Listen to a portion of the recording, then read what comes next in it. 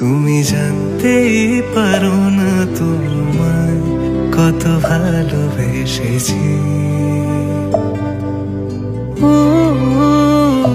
Hello everyone good morning কেমন আছো তোমরা সবাই? আশা করি ভালো আছো। আজকে অনেক দিন পরে, প্রায় দু সপ্তাহ পরে একটা ব্লগ ভিডিও নিয়ে চলে আসলাম। তো তোমরা আজকে ভিডিওটা পুরো একদম লাস্ট অবধি দেখো। আর আশা করি ভিডিওটা তোমাদের খুব ভালো লাগবে। আজকে হলো টিচার্স ডে তো আমাদের এখানে মানে আমার ভাই যেখানে গিটার শেখে, তো সেখানে একটা কালচারাল প্রোগ্রাম আছে। আর ওখানে ভাইয়ের আজকে ড্রয়িং কম্পিটিশনও হবে। তো সেখানে যাব, আর কি কি করি সারাদিন সেটাও তোমরা দেখো। তো ভিডিওটা লাস্ট অবধি দেখতে থাকো, একদম কোনো রকম স্কিপ করবে না। আমি এখন যাব হচ্ছে বাজারে, আর আমাদের আজকে রেশন দেবে তো, তার জন্য আমি রেশন কার্ডটা জমা দিয়ে আসব। আমাদের এখানে আগে কার্ডটা জমা দিতে হয়, তারপরে রেশনটা দেয়। তো চলো দেখতে থাকো এসেছিলাম রেশনে কার্ড জমা দিতে তো এসে দেখি বলল যে রেশন দেবে না আমাদের কারেন্ট নেই কারেন্ট না থাকলে তো রেশনের সেই ইয়ে হয় তো লিঙ্ক করে সেটা তো হবে না তাই আমি এখন যাচ্ছি বাজারে আজকে তো টিচার্স ডে তাই আমার স্টুডেন্টদের কি খাওয়ানো যায় সেটাই কিনতে যাচ্ছি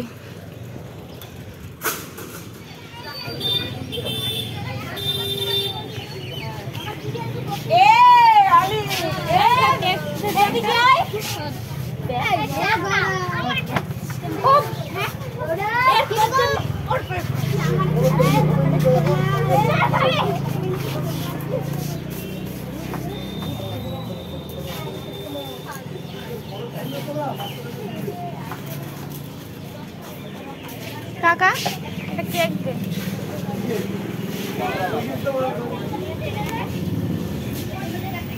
এই যে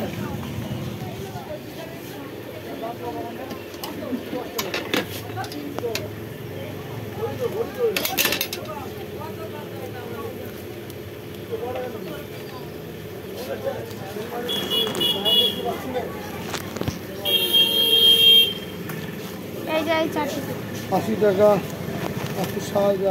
এই দেখো আমি কেক কেনা কমপ্লিট হয়েছে কেক নিয়েছি আর একটা করে কিটক্যাট নিয়েছি ওদের জন্য। এখন যাচ্ছি বাড়ি। আবার দুটোর দিকে আসব। ভাইয়ের কম্পিটিশন আছে তখন ভিডিও করে তোমাদের দেখাবো।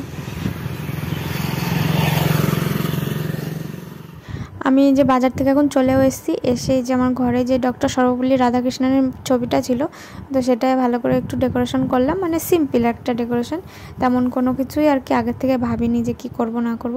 আর আমার যে স্টুডেন্টগুলো ছিল, তাদেরকে ডেকেছিলাম। ওদের আমাদের বাড়ির পাশেই বাড়ি, আর ওরাও এখন স্কুলে যাবে।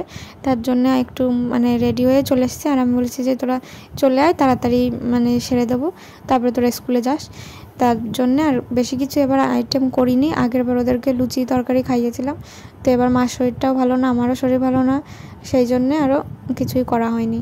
তাই আমার ওই দুটো স্টুডেন্ট এসেছিল আর কেক কেটেছিলাম আর ওদেরকে চকলেট দিয়েছিলাম। আর আমার বুনুও তো আমার কাছে পড়ে কিন্তু বুনু বাড়ি ছিল না বুনু গেছিল পিসি বাড়ি। তা বুনুর জন্য কেক রেখে দিয়েছিলাম, ওকে পরের দিন দেবো। আর মানে টিচার্স ডেটা এমনই একটা স্পেশাল দিন না সেই মানে এই দিনগুলোতে স্কুল কলেজের কথা মনে পড়ে যায়। মানে স্কুলে আমরা মানে যখন আমরা ছোট ছিলাম তখন আমাদের ক্লাসে বড় দিদিরা এসে পড়াতো। আমি তো গার্লস স্কুলে পড়তাম। আর যখন আমরা বড় হলাম তখন আমরা অন্যদের ক্লাসে গিয়ে আমরা ক্লাস নিতাম। একটা মানে সে আলাদাই অনুভূতি। আর সেদিনটা নিজেদের খুব বড় বড় লাগতো যে আমরা উঁচু ক্লাসে পড়ি। ওদেরকে আমরা পড়াচ্ছি, খুব ভালো লাগতো। আমার ভাইও আজকে স্কুলে যেত, কিন্তু ও যেখানে গিটার শেখে ওখানে তো ড্রয়িং কম্পিটিশন আছে। তা এমন টাইমে কম্পিটিশনটা যে ও স্কুল থেকে এসে আর আবার যদি ওখানে যায়, তাহলে ওরও খুব একটা জার্নি হয়ে যাবে আর কষ্ট হয়ে যাবে। তার জন্য আর স্কুলে যায়নি। একবারে ওখানে যাবে।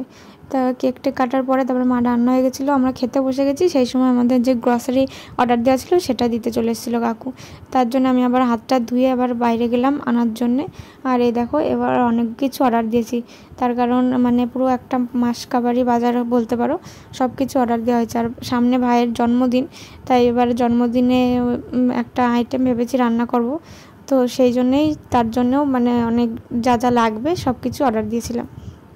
তোমরা তো জানোই যে আমরা ফ্লিপকার্ট থেকে গ্রসারি আইটেম কিনি শুধু চাল ডিম এই জিনিসগুলো বাদ দিয়ে। আর যখন অনেক সময় হয় টুকটাক কিছু লাগে তখন আর গ্রসারিতে অর্ডার দেওয়া হয় না। যে হয়তো সেই জিনিসটা তখনই লাগবে তখন দোকান থেকে নিই। তাছাড়া ম্যাক্সিমাম টাইমে আমরা তেল টেল সব কিছু বেশি বেশি করে গ্রসারি থেকেই কিনে নিই। অনেকটা টাকা সেভ হয় তার জন্য। দুষ্টু এখন গ্রসারিগুলো গুছাবে গুছিয়ে ঘরে নেবে। তাই তো দুষ্টু? ও এই ওই রুম স্প্রেটার সেন্টটা ভালো। ওইটা ধুলে? না এগুলো তো ভর।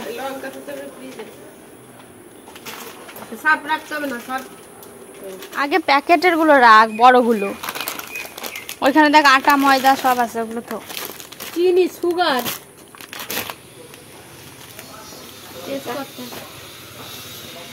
এই দেখো ভাই সেই সয়াবিন দাদার ছবি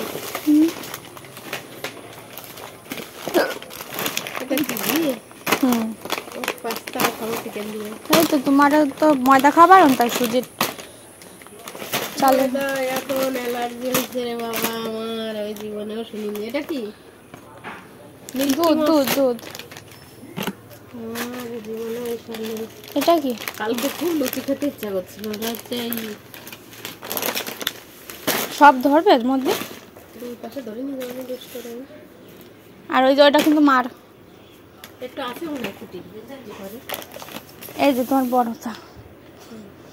বাইরে রাখি। কাসন্দিটা রোদ দূরে রাখিস হ্যাঁ চল দুষ্টু ঘরে নি চ। এখন আমি যাচ্ছি হচ্ছে ভাইকে নিয়ে। ভাইয়ের আজকে ড্রয়িং কম্পিটিশন আছে। সেখানে যাব প্রায় দুটো বেজে গেছে। এই যে ভাই রেডি হয়ে গেছে।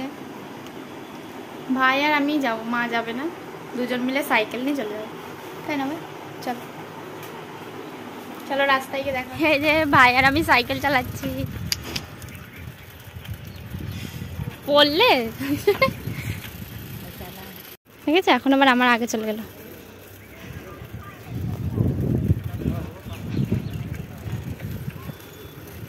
চল, রাস্তায় একটাও লোক নেই তো রোদ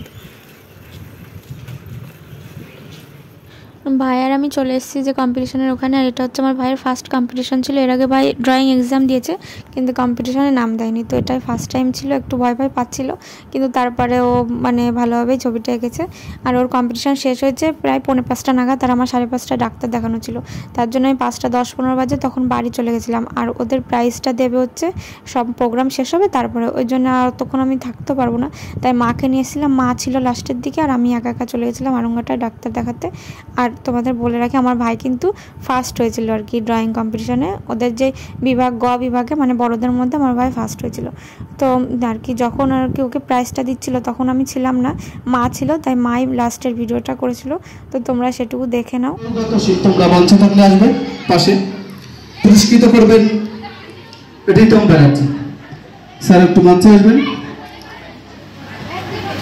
ব্যানার্জি স্যার আমাদের এখানে কম্বাইন টিচার তিনি পুরস্কৃত করবেন। দীপাঞ্জন বিশ্বাসকে গ বিভাগে প্রথম হয়েছে।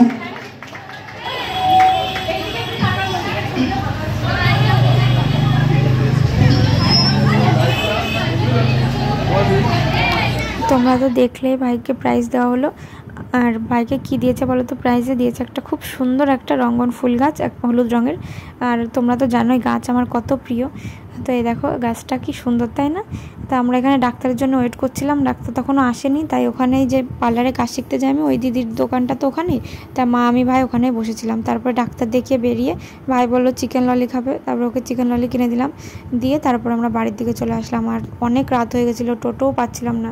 মানে খুব কষ্ট হয়েছে আমাদের আজকে সারাদিনটা। এখন হচ্ছে প্রায় সাড়ে দশটা বাজে। তো আমরা আর কি আরংঘাটায় গেছিলাম, ডাক্তার দেখাতে সেটা তো তোমরা দেখলে। সেখান থেকে বাড়ি আসলাম মানে বাড়ি পুরো আর কি ডাইরেক্ট আসেনি। তার কারণ আমার ভাইকে যে প্রাইভেট পড়ায়, ওই ওই ভাইয়ের বাড়িতে হচ্ছে মানে ও যাদের যাদের টিউশন পড়ায়, তাদের সবাইকে আজকে আর কি ওদের বাড়িতে নিমন্ত্রণ করেছিল। তো ভাই তো যেতে পারেনি বিকালে। তার জন্য আবার ওই ডাক্তার কাছ থেকে আসার সময় মানে আরংঘাটা থেকে আসার সময় আবার ওদের বাড়ি গেছিল ভাই। মানে গিয়ে আর বসে খায়নি। ওর মা আমাদের আর কি প্যাকেট করে দিয়েছিল। তো সেটাই বাড়ি নিয়ে আসলাম। তারপরে আমরা খাওয়া দাওয়া করলাম। মা বাড়ি এসে রান্না করল, আবার খাওয়া দাওয়া করলাম। করে এখন আর কি শুতে এসেছি। মানে আজকে সারাদিনটা খুব জার্নির উপর দিয়ে গেছে। মানে বাড়িতেই ছিলাম না। তোমরা তো পুরো ভিডিওটা দেখলেই। মানে একবার ভাইয়ের ওখানে ছিলাম। সেখান থেকে আবার দু মিনিটের জন্য বাড়ি এসে চেঞ্জ করে আবার চলে গেছিলাম আরঙ্গাটা ডাক্তারের কাছে। তো ভিডিওটা আজকে এখানে এন্ড করছি। দেখা হচ্ছে পরের একটা ভিডিওতে। আজকের ব্লগটা যদি ভালো লেগে থাকে, অবশ্যই চ্যানেলটাকে সাবস্ক্রাইব করে আমার পাশে থেকো। তো টাটা! সবাই ভালো থেকো, সুস্থ থেকো। Good night